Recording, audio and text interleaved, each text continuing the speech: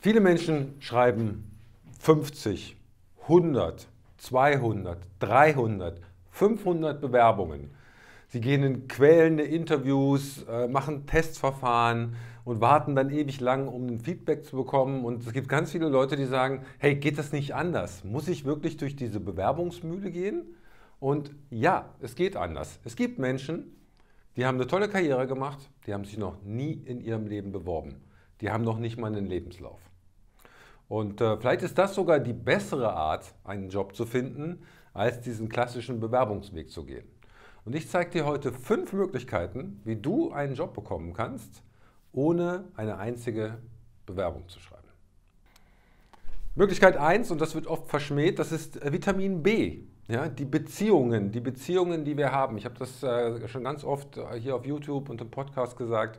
Ähm, du musst dein Netzwerk pflegen. Ne? Wenn du ein gut ausgebautes Netzwerk hast und du teilst diesen Bekannten, Freunden, Ex-Kollegen, äh, Kommilitonen und so weiter mit äh, im Sportverein, dass du auf der Suche nach einer neuen Herausforderung bist, vielleicht auch möglichst konkret, in welche Richtung es gehen soll, dann kommt ganz oft was zurück.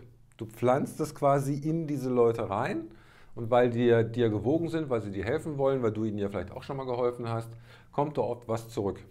Und äh, es ist ganz oft so, dass die besten Jobangebote nicht aus deinem engsten Freundeskreis kommen, weil die sind meistens in ähnlichen Jobs wie du, sondern quasi aus dem, was da drum liegt. Ne? So Ex-Kollegen, äh, Leute, die du von der Uni kennst, die du mal im Urlaub kennengelernt hast, die halt in ganz anderen Netzwerken unterwegs sind. Und wenn du das für dich pflegst, dann äh, kann es sein, dass da ganz, ganz tolle Jobangebote auf dich zukommen. Du musst den Leuten natürlich auch sagen, dass du was suchst. Du musst jetzt nicht alle anrufen und sagen, hey, ich brauche ganz dringend einen Job. Du kannst sagen, hey, ich bin auf der Suche nach einer neuen Herausforderung, soll in den Bereichen A, B und C sein, soll ungefähr das und das beinhalten. Das heißt, wenn du mal was hörst, was spannend sein kann, wenn du dich mal ein bisschen umhörst in deinem Umkreis, wäre ich dir sehr dankbar.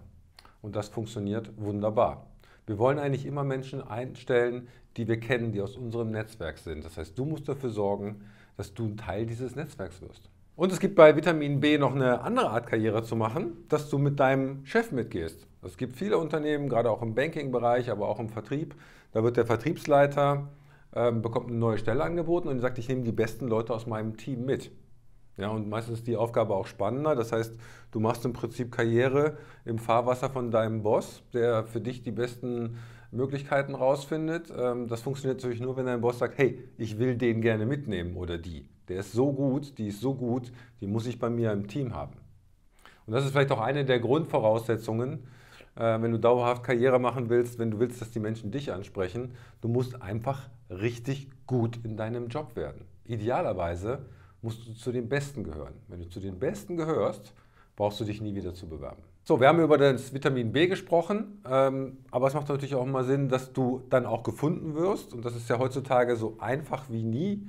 Über LinkedIn, Xing kannst du dein Profil veröffentlichen. Äh, man kann sehen, was du gemacht hast. Du kannst ein paar Beiträge zu deiner Expertise veröffentlichen. Vielleicht auch schon zu Beiträgen, die du geschrieben hast.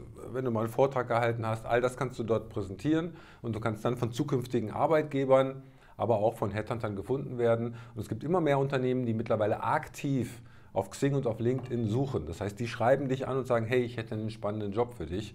Ja, das ist doch toll. Brauchst du dich nicht mehr zu bewerben. Äh, du hast ja dein LinkedIn-Profil, das ist meistens auch schon dein Lebenslauf und brauchst nur noch zu warten, wenn du es richtig machst, dass die Jobangebote bei dir reinkommen. Da sind wir auch gleich schon bei Möglichkeit 3. Ähm, also wenn du Experte bist, wenn du ganz besonders gut in dem bist, was du machst, wenn du eine tolle Webseite gebaut hast, wenn du irgendwie einen Preis gewonnen hast als bester Azubi oder sonst irgendwas, ja, da macht es auch immer Sinn, da, darüber zu reden, das äh, auch äh, publik zu machen. Da gibt es vielleicht Artikel, die über dich veröffentlicht worden sind. Oder du hast selber einen Artikel geschrieben, äh, du hast die Chance, bei, einem, bei einer Konferenz einen Vortrag zu halten. All solche Sachen solltest du natürlich nutzen. Und das bedeutet, dass du aber natürlich auch immer ein bisschen die Extrameile gehen musst. Weil wenn du nur einen 0815-Job machst, einen 9-to-5er-Job, dann wird das meistens nicht passieren. Dann gibt es die Möglichkeit 4. Äh, die finden einige Leute ein bisschen unangenehm, aber es ist eigentlich die beste Möglichkeit, tatsächlich den Job zu bekommen, den du haben möchtest. Also ähm, ich wollte früher mal bei, bei Google unbedingt arbeiten und habe gemerkt, hey, wenn ich mich da bewerbe, kriegst du eine Absage, das geht so schnell, da passiert gar nichts. Und äh, dann bin ich hingegangen und habe geschaut, hey, gibt es denn jemanden, nicht jemanden, der bei Google arbeitet in Kalifornien, den ich kenne? oder den ich zumindest über zwei Ecken kenne. Und dann habe ich halt ein bisschen gesucht über LinkedIn und habe tatsächlich dann ein paar Deutsche gefunden, die da arbeiten und habe die angeschrieben und habe gesagt, hey, ähm, was muss ich denn tun, um bei Google arbeiten zu können? Wie komme ich da rein? Wie komme ich an dieser Masse vorbei?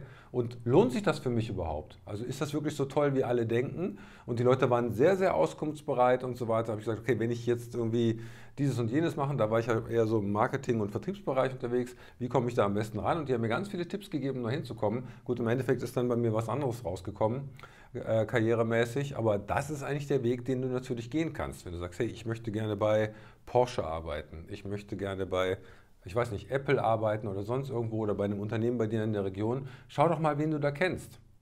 Schau doch mal, wen du da kennst, da kannst du die interviewen, kannst sagen, hey, ist das wirklich so toll da, wie ich mir das vorstelle? Manchmal sagen die nämlich auch, nee, ganz ehrlich, ich würde an der Stelle hier nicht anfangen. Das ist ja auch wichtig.